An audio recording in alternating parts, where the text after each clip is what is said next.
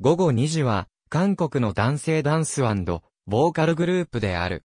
JYP エンターテインメント所属。公式のグループカラーは、パールブラック。ニックンを除いたメンバーの全員が、所属事務所である JYP に、オーディションで練習生として入っている。その後、ネットの新人育成テレビ番組、熱血男児で、ジャイプ練習生の新グループ結成までの過酷なトレーニングなどが放送され注目された。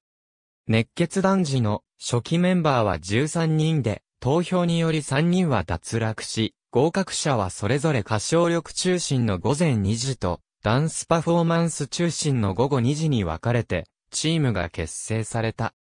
グループ名である午後2時は、1日の中で、最も活動的な午後2時に聴きたい音楽を、コンセプトにしていることから名付けられた。熱血男児放映の約5ヶ月後の2008年下半期夏より活動開始。デビューにあたり、プロデューサーであるパクジニョンは、彼らは私の自尊心といい、以前人気を博したアイドルグループゴッド以後10年ぶりにお目見えするジャイプのボーイズグループとして話題になった。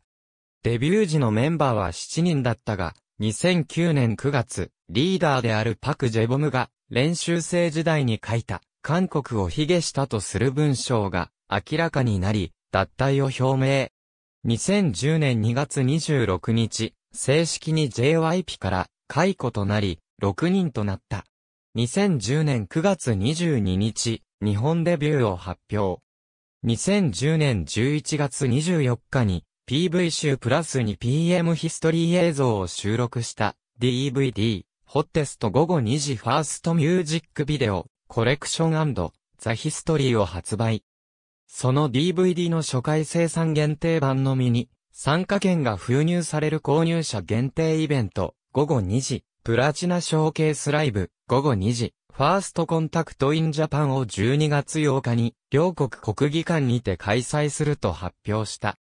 12月8日には韓国をはじめ、アジアで大ヒットしたファーストアルバム1:59PM に3曲をボーナストラックとして収録した日本仕様版1:59PM Japan Special Edition も発売された。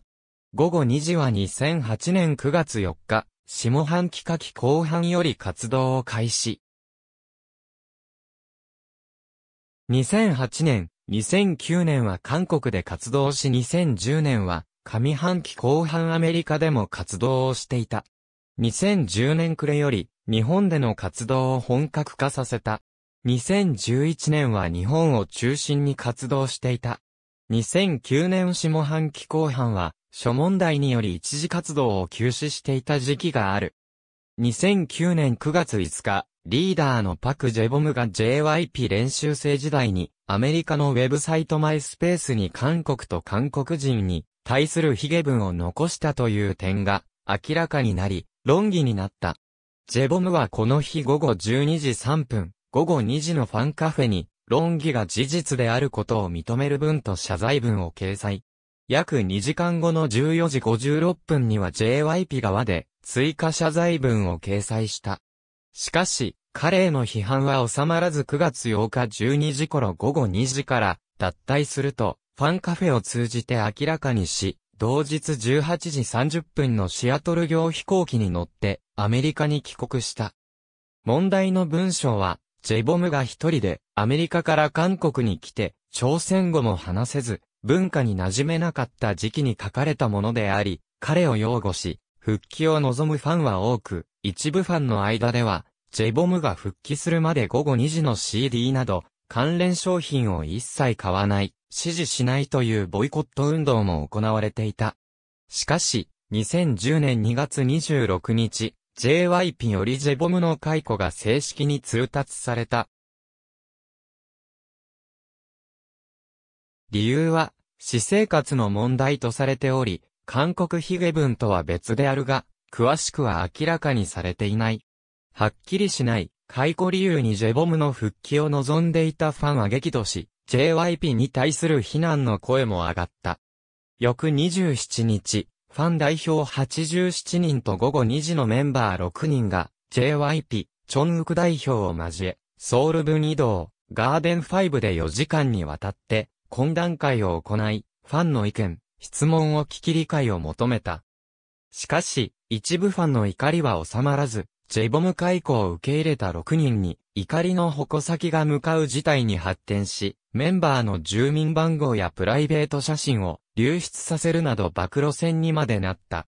シングル順位は、オリコンウィークリーチャートアルバムベストアルバム DVD、コラボ作品フルアルバムミニアルバムシングルアルバム、リッパケージデジタルシングル、他 JYP ネーションインジャパン 2011JYP ネーションインジャパン2012午後2時、ホッテストジャパンファーストファンクラブイベント、野蔵午後2時。ホッテストジャパンニューイヤーズパーティー。2015、オールドボーイ VS ヤングボーイ、韓国日本その他太字は、対象。ありがとうございます。